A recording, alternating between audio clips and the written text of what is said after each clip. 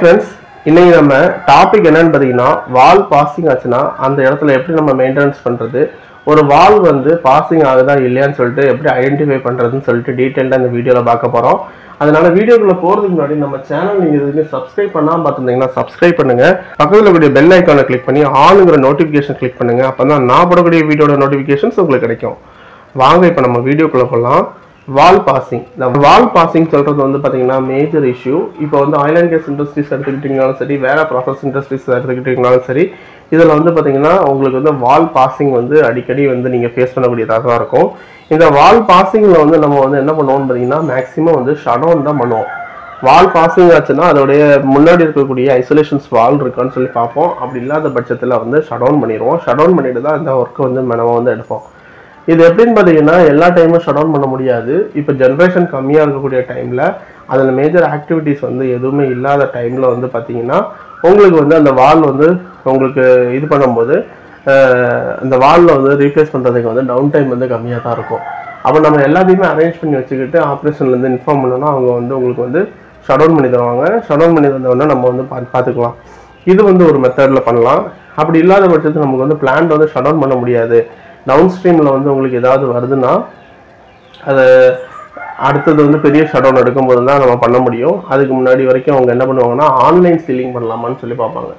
உங்களுக்கு வந்து அடுத்தால இருக்கக்கூடிய லைனில் வந்து பார்த்தீங்கன்னா உங்களுக்கு வந்து வாலில் போனட்லேயோ இல்லை ஃப்ளாஞ்ச் லீக்கோ அந்த மாதிரி ஏதாவது இருந்துச்சுன்னா என்ன பண்ணுவாங்கன்னா ஆன்லைன் சீலிங் இருக்குது அந்த ஆன்லைன் சீலிங்கை கொண்டு வந்து அடிச்சிருவாங்க. அந்த ஆன்லைன் சீலிங் வந்து எத்தனை இன்ச்சு ஃப்ளான்ஸோ அந்த ஃப்ளான்ஸுக்கு அரேஞ்ச் பண்ணி அதனுடைய ஃபிக்சர்ஸ் எல்லாம் கொடுத்துட்டு வந்துட்டு உங்களுக்கு வந்து பார்த்தீங்கன்னா அதில் வந்து மெட்டீரியல் வந்து ஃபில்லப் பண்ணிவிட்டு உங்களுக்கு வந்து ஆன்லைன்லேயே வந்து லீக் வந்து அரெஸ்ட் பண்ணி தந்துடுவாங்க இது வந்து டெம்பரரி சொல்யூஷன் அதுக்கப்புறம் பிளான்ட்டை வந்து நம்ம எப்போ டவுன் பண்ணுவோமோ அந்த டைமில் டவுன் பண்ணிவிட்டு அந்த லைனை கட் பண்ணி தூக்கிட்டு புது லைனை வந்து எரெக்ஷன் பண்ணலாம். இது வந்து பார்த்திங்கன்னா உங்களுக்கு வந்து ஸ்டீம் லைன்லேயும் கேஸ் லைன்லேயும் பொதுவாக வந்து பண்ணுறது ஓகேங்களா ரெண்டாவது இந்த வால் பாசிங் வந்து வேறு எந்த இடத்துலலாம் இருந்துச்சுன்னா நம்ம என்ன பண்ணுவோம்னா ஃபர்ஸ்ட் வந்து என்ன பண்ணுவோம்னா பிஎன்டேட் எடுத்துக்கிட்டிங்கன்னா அந்த வால்வுக்கு முன்னாடி பைபாஸ் லைன் தான் இருக்கான்னு சொல்லி பார்க்கணும். அந்த பைபாஸ் லைனில் அந்த லைனை வந்து லூப்பை வந்து பைபாஸ் பண்ண முடிஞ்சுன்னா பைபாஸ் பண்ணிவிட்டு அதில் நம்ம வந்து மெயின்டெனன்ஸ் ஆக்டிவிட்டீஸ் பண்ண முடியும். இது ஒரு மெத்தடு ஓகேங்களா? மேக்ஸிமம் வந்து பார்த்தீங்கன்னா பைபாஸ் லைன் வந்து கிரிட்டிக்கல் லைன்ஸுக்கு மட்டும் தான் கொடுத்துருப்பாங்க நார்மலான லைன்ஸ்க்கு வந்து இருக்காது.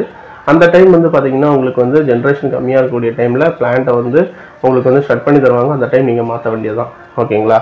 இதெல்லாம் தான் வந்து பார்த்தீங்கன்னா உங்களுக்கு வந்து வால் பாசிங் ஆனால் நம்ம வந்து ரெகுலராக மெயின்டெனன்ஸ் எடுக்கும்போது பண்ணக்கூடிய ஆக்டிவிட்டீஸு இதில் வந்து வாலில் வந்து பார்த்தீங்கன்னா உங்களுக்கு வந்து பாசிங் இருக்குன்னு சொல்லிட்டு நம்ம வந்து எப்படி ஐடென்டிஃபை பண்ணுறது ஏன்னா வந்து பார்த்தீங்கன்னா வால் பாசிங் வந்து பார்த்தீங்கன்னா ஒரு கிரிட்டிக்கலான ஒரு இது. ஏன்னா அது உங்களுக்கு தெரியாது. அந்த வால் பாசிங்கில் வந்து நம்ம வந்து எப்படி அந்த ஒரு மெயின்டெனன்ஸ் பண்ணும்போது தான் நீங்கள் எடுக்கும்போது தான் அந்த வால் க்ளோஸ் பண்ணுவீங்க அந்த டைமில் வந்து பாசிங் இருக்கா இல்லையான்னு நீங்கள் எப்படி செக் பண்ணுவீங்கன்னு பார்த்தீங்கன்னா ரெண்டு மெத்தடில் பண்ணலாங்க. ஜூல் தாம்சன் எஃபெக்ட்னு சொல்கிறாங்க இது எப்படின்னு பார்த்தீங்கன்னா டவுன் ஸ்ட்ரீம் அப் ஸ்ட்ரீமில் இருக்கக்கூடிய ஒரு வால்வ்னு வைங்களேன் அந்த வால்வை வந்து நம்ம வந்து க்ளோஸ் பண்ணுறோம் க்ளோஸ் பண்ணும்போது என்ன ஆகும்னு பார்த்தீங்கன்னா டவுன் ஸ்ட்ரீமில் வந்து உங்களுக்கு வந்து அதோடைய டெம்பரேச்சர் வந்து கம்மியாக இருக்கும். அதாவது இன்லெட்டில் அதாவது ஒரு அப்ஸ்ட்ரீம்லேருந்து வரக்கூடிய லைனை வந்து நீங்கள் வந்து டெம்பரேச்சர் கண்ணை வச்சு செக் பண்ணீங்கன்னா ஒரு டெம்பரேச்சரும் டவுன் ஸ்ட்ரீமில் வால் ஆல்ரெடி க்ளோஸில் இருக்குது அந்த இதில் இருக்கும்போது பார்த்தீங்கன்னா உங்களுக்கு டெம்பரேச்சர் வந்து கம்மியாக இருக்கணும். அப்படி கம்மியாக இருந்துச்சுன்னா உங்களுக்கு வந்து வால் பாசிங் இல்லை. இல்லை ஒரே ஒரு டெம்பரேச்சர் வந்து மெயின்டைன் ஆகிட்டு இருக்குதுன்னா உங்களுக்கு வந்து வால் வந்து பாசிங் ஆகுதுன்னு அர்த்தம். ஓகேங்களா இது வந்து ஒரு மெத்தடில் வந்து பார்க்கலாம்.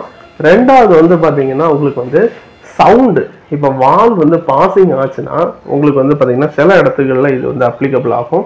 மேக்ஸிமம் பார்த்தீங்கன்னா லிக்யூட் லைனு இந்த ஸ்ட்ரீம் லைன்லலாம் பார்த்தீங்கன்னா உங்களுக்கு வந்து வால் வந்து பாசிங் ஆச்சுன்னா அந்த இதில் வந்து பார்த்தீங்கன்னா உங்களுக்கு வந்து சவுண்டு வந்து அதிக அதிகமாக வந்துட்டுருக்கும் ஓகேங்களா? அதிகமாக வந்துட்டு இருக்கும்போது நம்ம வந்து என்ன ஐடென்டிஃபை பண்ணிடலாம். ஆனால் இது வந்து ஹெவி நாய்ஸ் உள்ள ஏரியாவில் வந்து கண்டுபிடிக்கிறது வந்து கஷ்டம். அதுக்கப்புறம் என்ன மெத்தடில் பண்ணுவாங்கன்னா அல்ட்ராசோனிக் வேவ்ஸ் இருக்குல்ல அந்த அல்ட்ராசோனிக் வேவ்ஸை வந்து உள்ளே உள்ள அனுப்பிட்டு அதில் செக் பண்ணுவாங்க. அதில் அவங்களுடைய கிராஃபை வச்சு அவங்க வந்து ஃப்ளோ போகுதா இல்லையான்னு சொல்லிட்டு செக் பண்ணுவாங்க. இந்த மாதிரி மெத்தட்ஸ்ல பார்த்தீங்கன்னா வால் பாசிங் இருக்குதா இல்லையான்னு சொல்லிட்டு நம்மளால ஐடென்டிஃபை பண்ண முடியும். ஓகேங்களா? இது வந்து இந்த வால் பாசிங் இதெல்லாம் வந்து எப்போ பண்ணுவாங்கன்னு பார்த்தீங்கன்னா ஒரு பிளான்ட்ல வந்து மேஜர் டேன் அரவுண்ட் எடுப்பாங்க பார்த்தீங்களா இந்த மேஜர் டேன் அரவுண்ட் எடுக்கும்போது டோட்டலாக வந்து எத்தனை வால்ஸ் இருக்கோ அந்த வாலில் வந்து பாசிங் இருக்குதா அதில் ஓவராலிங் பண்ணணுமான்னு சொல்லிட்டு ஒரு லிஸ்ட் வந்து ப்ரிப்பேர் பண்ணுவாங்க. அந்த டைமில் வந்து பார்த்தீங்கன்னா ப்ரீ ஷட் டவுன் ஆக்டிவிட்டீஸில் வந்து பார்த்தீங்கன்னா உங்களுக்கு வந்து அந்த லிஸ்ட்டு வந்து எடுப்பாங்க. எப்படின்னா வாலில் நான் சொன்னேன் பார்த்தீங்களா ஐசோலேஷன் ஒரு குறிப்பிட்ட லைனில் வந்து ஐசோலேஷன் பண்ணிவிட்டு அதோட upstream downstream temperature check பண்ணுவாங்க. அப்போ அதில் ஃப்ளோ வருதான்னு செக் பண்ணுவாங்க. இல்லைன்னா உங்களுக்கு வந்து பார்த்தீங்கன்னா டெம்பரேச்சர் டிஃப்ரென்ஸ்லையும் செக் பண்ணி கண்டுபிடிப்பாங்க. ஓகேங்களா? ரெண்டாவது அதோடைய பா அந்த வால்வுடைய ஃபிசிக்கல் கண்டிஷன்ஸ் வந்து செக் பண்ணுவாங்க. செக் பண்ணிட்டு அதை வந்து மேஜர் ஓவரால் அனுப்பணும்னா அனுப்பிடுவாங்க. மேக்ஸிமம் பா வால் வந்து உங்களுக்கு வந்து பாசிங் ஆகுறது என்னன்னு பார்த்தீங்கன்னா இம்ப்ராப்பர் சீட்டிங்னாலையும் உள்ள இருக்கக்கூடிய ஸ்பேர் வந்து உங்களுக்கு வியரண்டியர் ஆகிறதுனாலையும் தான் உங்களுக்கு வந்து பாசிங் வந்து இருக்கும். அதனால வந்து பார்த்தீங்கன்னா குறிப்பிட்ட டைமில் வந்து வால்வை வந்து பார்த்தீங்கன்னா நம்ம வந்து என்ன பண்ணுவோம்னா ஓவராலிங் அனுப்பி அதை வந்து ரீகண்டிஷனிங் பண்ணி கொண்டு வந்து ஃபீல்டில் வந்து ஃபிக்ஸ் பண்ணுவோம். இது வந்து உங்களுக்கு வந்து ஷட் டவுன் ப்ராசஸில் வந்து பார்த்தீங்கன்னா ப்ரீ ஷட் டவுன் ஆக்டிவிட்டீஸில் வால் பாசிங் இருக்கா இல்லையான்னு சொல்லிட்டு செக் பண்ணுவோம். அதுக்கப்புறம் அந்த லிஸ்ட்டை வந்து எந்தெந்த வால்லாம் பாசிங்கோ அதை ஐடென்டிஃபை பண்ணிவிட்டு எது எதெல்லாம் ரீப்ளேஸ் பண்ணலாமோ ரீப்ளேஸ் பண்ணுவோம். எதை எதை ஓவராலி பண்ணலாமோ அதெல்லாம் ஓவராலி பண்ணுவோம்.